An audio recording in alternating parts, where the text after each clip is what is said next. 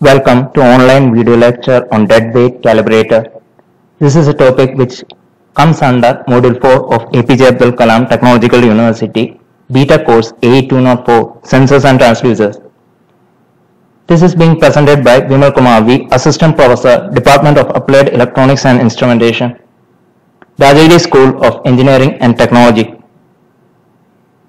After this session, you should be able to explain the working of deadweight calibrator, explain the theoretical aspects of dual piston deadweight calibrator used in our lab. Deadweight calibrator is a very accurate instrument serving as standard for calibration of pressure measuring instruments of lesser accuracy. By standard, we mean an instrument that acts as a reference for readings taken by some other instrument. And in this way, the reference acts as a true value to compare the reading taken by other instrument and it is used as a standard in the range from 0.1 mm of mercury to several hundred psi. It is used in all major industrial facilities. It is used to calibrate master gauges in industry. Master gauges are gauges which acts as reference for calibrating other gauges which are used more frequently. It operates on Pascal's law. Pascal's law was stated by French scientist Blaise Pascal. The pressure in a fluid at rest is the same at all points if we ignore gravity. A change in pressure applied to an enclosed fluid is transmitted undiminished to every point of the fluid and walls of the containing vessel or a liquid exerts pressure equally in all directions. The second definition comes in more handy as far as dead weight calibrator is concerned. Is Pascal's law applicable to this? No, because it is a fluid in motion and Pascal's law is only applicable to fluid at rest. Is Pascal's law applicable here? Here we have a chamber with two pistons and a fluid enclosed. Let us assume that oil is the fluid enclosed in this. You can see the oil and the pistons are at rest and the oil is enclosed. Pascal's law is applicable. Is it applicable here? There is variation in the number of piston, but fluid is still at rest and the oil is enclosed. Applicable. Is Pascal's law applicable? Here we have a chamber with piston and oil is in contact with the pistons, but the oil also has air bubbles. Under such circumstances, if a pressure is transmitted at a point that may not be equally transmitted to all other points because oil being a liquid is incompressible and air being a gas is compressible and Pascal's law may not be applicable in its entirety. To understand how deadweight calibrator works, let us begin with this simple example of a chamber with two pistons filled with oil. Please note that the cylinder or the chamber is not filled entirely with oil. It is only partially filled and we assume that there is no air in the system. We have piston 1 which is resting on the support as is clear from the figure and piston 1 is not in contact with the fluid and we assume that there is no air in the gap. Now piston 2 can be moved in and out using a hand wheel let us see. So you can see that piston 2 can be moved in and out and as piston 2 is moved in, what the oil, the fluid in the chamber goes up and comes into contact with piston 1 and if it is pulled down, the oil is pulled down and the volume which was occupied by the fluid is now vacuum at this point, piston 2 has moved in, oil has risen and come into contact with piston 1. Under such circumstances, if piston 2 is further moved in, we have a situation which is similar to the case of Pascal's law. We have an enclosed oil. Fluid in this case is oil and it is enclosed by the chamber as well as the piston surfaces. Now if piston 2 is even slightly moved, it can move only if piston 1 moves or the pressure is developed in the fluid in such a way that it compresses. But oil is incompressible, it cannot compress. Thus, if piston 2 has to be moved, a pressure has to be developed because if piston 2, we try to move piston 2, we will be applying some force on the system and which will develop a pressure in the fluid.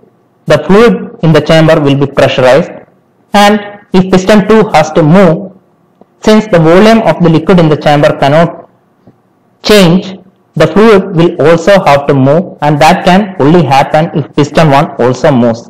And piston 1 can move only if the pressure developed in the chamber, you can see when piston 2 is even tended to move slightly, even though the movement of piston 2 is not discernible, the oil has become pressurized. Now, if we want to move piston 2, you can see that piston 1 also has to move.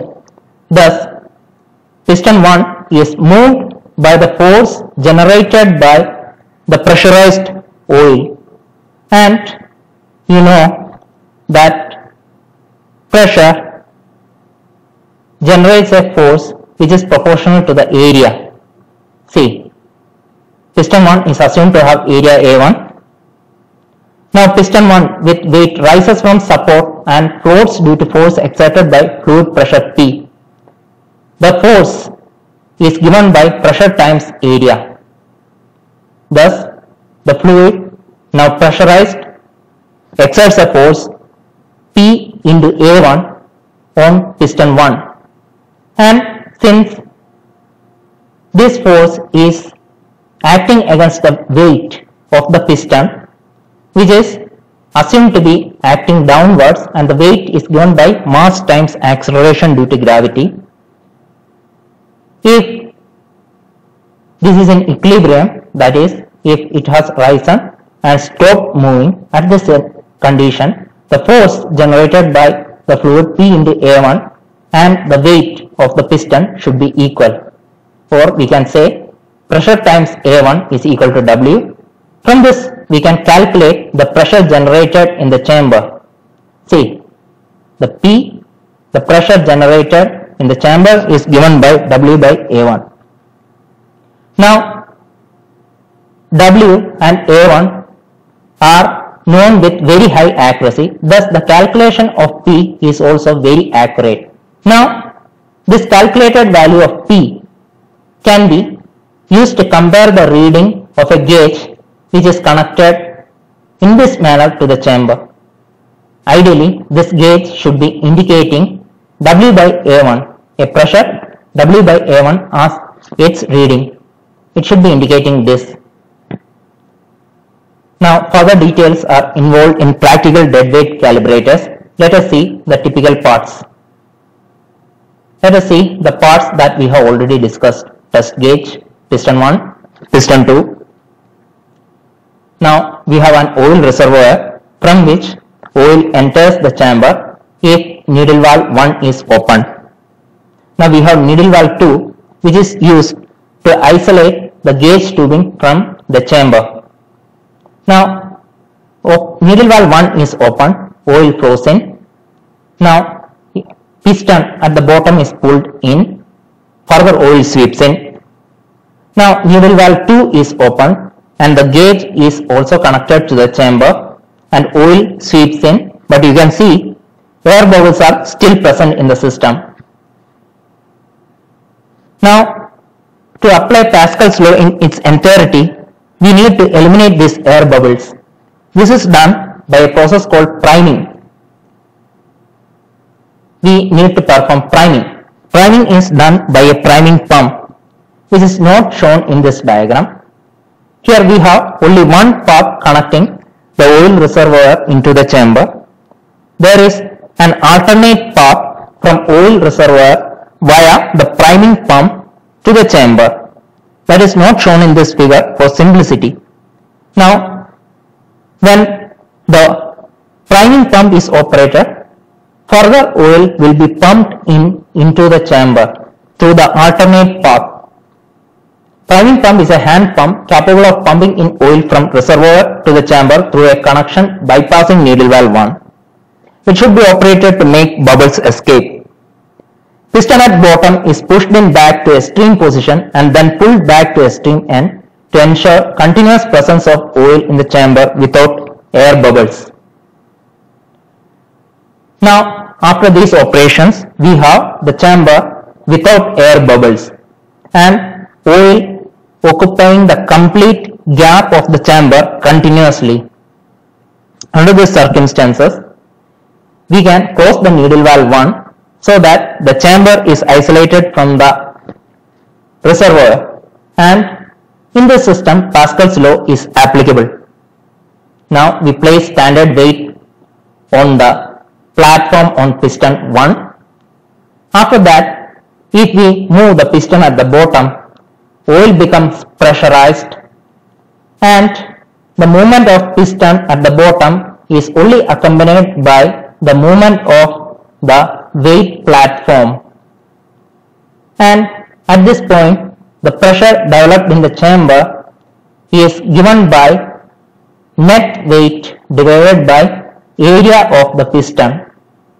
Net weight is the weight of the standard weight plus the weight of the piston that is the net weight. This should be indicated by the gauge shown in the figure. If there is any deviation that is considered as an error. So error is calculated as gauge reading minus the pressure that we had calculated. now we can close the needle valve 2 so that now you can close the needle valve you can close the needle valve two so that the pressure gauge is isolated from the system. You can close the needle valve two so that pressure gauge is isolated from the system. Under such circumstances, even if there is any change in pressure in the rest of the chamber, there won't be any change of pressure in the pressure gauge. The steps are repeated for different standard weights. The weight selected to pressurize chamber for different calibration points in the range of the instrument. The instrument has a range, say 0 to 100 psi. The gauge that was connected is having a range, say it measures pressure from 0 psi to 100 psi. Then weights are selected in a manner that the pressure generated in the chamber is of 0 psi, 25 psi, 50 psi, 75 psi and 100 psi. This is how we compare the reading of the instrument with the values that can be calculated by placing standard weights and the corresponding errors are noted and we plot a graph known as calibration curve. Refer Patranabis, Principles of Industrial Instrumentation for further details. Consideration of accuracy. Frictional force between cylinder and piston can be reduced by rotating the platform carrying the weight. Environmental factors also has to be considered. Effective area generally assumed is the average of piston and cylinder areas, but corrections are needed due to temperature effects. Corrections are also needed for local gravity, buoyancy effects, height difference between lower end of piston and reference point of the gauge being calibrated. For further details, please refer Ernesto Doebelin Measurement Systems Application and Design. This is our system at the lab. Here, the system is similar to what has been previously discussed. Only difference is that we have two pistons which floats because of the pressure developed in the chamber. Here, the pistons have different areas. Piston 1 P1 has an area of A1 and piston 3 P3 has an area of A3 and A3 is assumed to be 10 times A1. Under such circumstances, if a pressure P develops in the chamber, let us see what happens. As discussed, A1 area of piston P1, A3 area of piston P3. If P the pressure developed in the chamber, force exerted on P1 is given by P times A1, force exerted on P3 given by P times A3. Now, since A3 is 10 times A1, same standard weight placed on P1 requires 10 times the pressure required to raise P3. Thus, gauges with 10 times more range can be calibrated on P1 as compared to P3. Let us see how that is possible. Consider the same system. Here we assume that same standard weights are placed on both the pistons. Now, as we have a gauge connected to the system, we assume that gauge has a range from 0 to 10 psi. Now, if we pressurize this system, the we assume that the standard weight placed on P3 is such that 10 psi is developed in the chamber. Now 10 psi is the maximum reading that can be given by the gauge connected. And if the standard weight placed on P3 is the maximum weight that can be placed on it. We can say that it can calibrate only gauges up to 10 psi. Now, if we want to calibrate a gauge of higher range, we cannot use P3 with the standard weight. So, we cannot calibrate higher range gauges with P3. Consider the case when 10 psi is developed in the system but we have a 100 psi gauge connected to the system. Here we have a 100 psi gauge connected to the system. Previously it was 10 psi gauge. Now you can see a 100 psi gauge. Please note that pointer is only moving to a percentage of the range. It has a range of 0 to 100 psi. It is indicating only 10 psi and 10 psi is generated in the system. At this point, you can see P3 is floating. If further piston with the hand wheel is moved in, P3 will move further and there won't be any change in pressure until P3 has moved to its limit.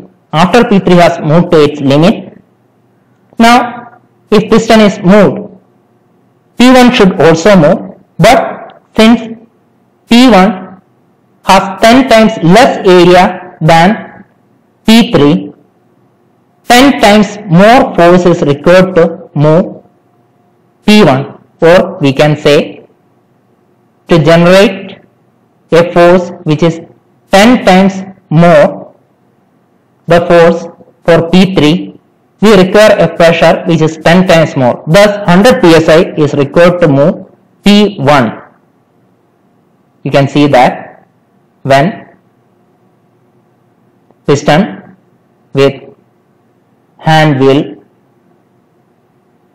is moved further in P1 has moved up. Now it is indicating 100 psi thus with the same standard weight we can calibrate a gauge which has 10 times the range as the previous gauge. Now let us see how priming is done we have the arrangement but we have a needle valve to connect oil reservoir to the chamber. But this is not the only part to connect oil reservoir to the chamber. We have a priming pump which also connects oil reservoir to the chamber via an isolating valve. When this isolating valve is opened and priming pump is operated usually by a handle, additional oil is pumped in into the chamber through the alternate path. This is the schematic which was given by the manufacturer. The same system is shown but the representation is different. Please compare these two figures. This is the system in our lab. We have an oil reservoir, the needle valve for reservoir, handle wheel for pressurizing piston, priming pump, isolating valve, pressure gauge to be tested, weight platform low pressure, this is our P3. Weight platform for high pressure, this is our piston P1. And we also have an indicator to see if the platform has risen because of pressurized condition. And we also have a spirit level to check the level of the dead weight calibrator. First open the needle valve, then open isolating valve to connect priming pump. After now perform uh, pull the piston to steam end to make oil seep in to fill the chamber with oil from reservoir. Then perform priming by operating the priming pump by operating the handle. At this point, piston may be moved back and forth by pushing all oil back to reservoir and sucking in all oil back to chamber. This gives air bubbles sufficient chance to escape into the atmosphere. After this, the needle valve to the oil reservoir is closed and isolating valve to priming pump is ensured to be in open position. Priming pump is operated till test gauge is pressurized. The priming pump is disconnected using the isolation valve. Close needle valve. Ensure isolating valve is open. Pressurized by priming pump. You can see the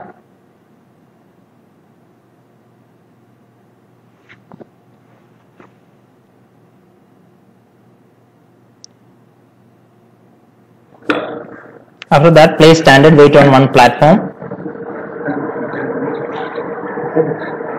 Rotate weight on platform to minimize friction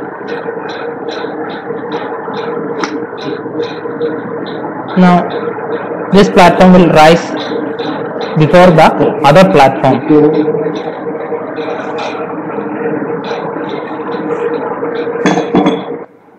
Now move piston in till platform is at indicator level.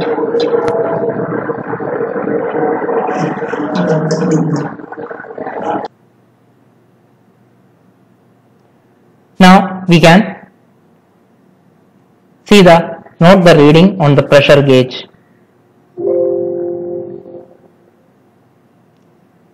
This calibration steps can also be applied to an assembly which is using a sensor which gives voltage or current as output.